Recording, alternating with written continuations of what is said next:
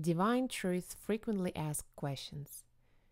Jesus, Mary, and others provide answers to questions that are frequently asked by members of the media and public.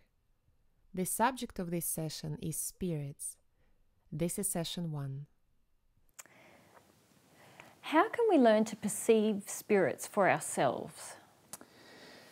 Well, perceiving spirits uh, is all about developing emotionally and uh, intellectually in certain directions. Obviously, if we have huge amounts of fear, as, I, as I've indicated in other answers to these questions, if we have huge amounts of fear to the concept of a spirit world, it's highly unlikely we're going to develop any sensory apparatus we might have as a part of our being to determine whether such a world exists and determine how to perceive spirits.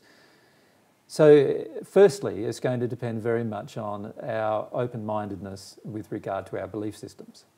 We, if we have very, very fixed and firm belief systems, it's highly unlikely that we will want to develop any perception of spirits. So, firstly, we need to confront our belief systems. Mm-hmm. Secondly, if our belief systems are very fixed and firm, or we have a lot of fear, we are going to resist any evidence that comes to us as to the existence of the spirit world and people in the spirit world, even though it's something that once we pass, we'll recognise automatically almost. And the problem with that, of course, is that we finish up, we finish up ending up with this situation where we're, we're so afraid, we're religiously afraid, we're scientifically afraid, we're, we're, we're afraid on so many levels to investigate the truth so, of course, we're not going to want to open up any pot- potential per- perceptive powers that we may have to determine the ability, you know, the, the communication ability to be between ourselves and spirits. So, our best course of action, really, firstly, is to look at all of the emotional reasons and belief systems that we have within us that oppose such a concept mm-hmm. and look at releasing them from ourselves emotionally. We need to get rid of them if we're ever going to develop any perception powers that allow us to communicate with, see and hear and experience the experience of experience in a day-to-day in our day-to-day life.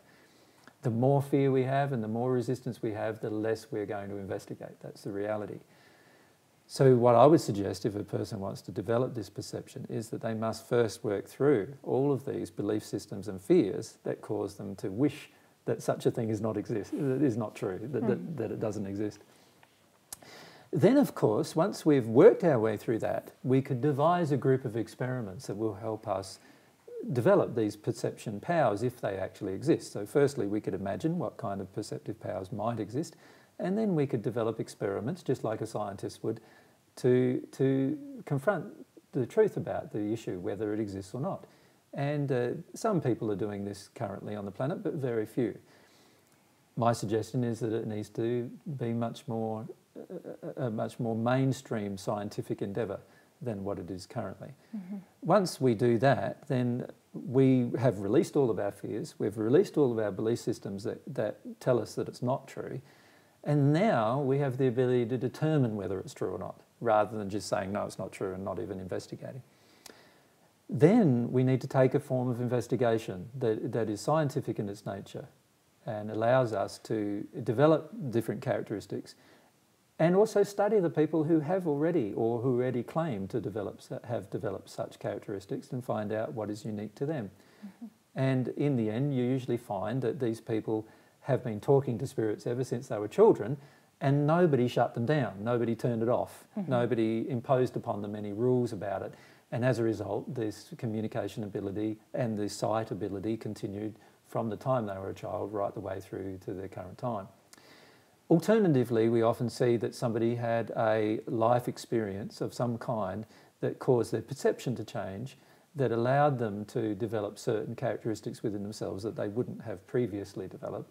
And from that point in time, they could see and hear or communicate with spirits and therefore see the reality of it these kind of people could be studied. What kind of emotional things happened during that time and what caused the particular thing to occur.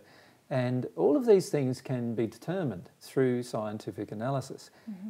However, um, the majority of people on the planet, as I've previously stated, uh, are pretty resistive to the scientific analysis, analysis of the existence of a spirit world and the existence of life after death. And as a result of that, many of us go around blind to the fact that we have a continuing life after we've passed from the earth. Mm. Okay.